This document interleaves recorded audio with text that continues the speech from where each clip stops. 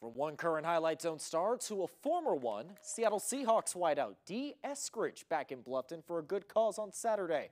For the first time, the Bluffton grad hosting a football camp at his alma mater. After a promising rookie year, Eskridge missing the second half of last year with a hand injury. With tra uh, training camp a month away, Eskridge believing his best days are ahead of him with the Seahawks.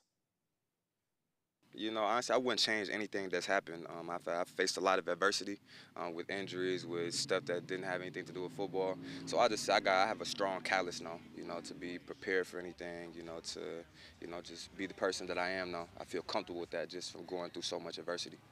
Done a lot of, a lot of things to learn more about my body. You know, did a lot of things with different people to help me learn as well. So I feel like now it's, you know, I feel centered. Our full conversation with Eskridge is posted on the WANE.com sports page.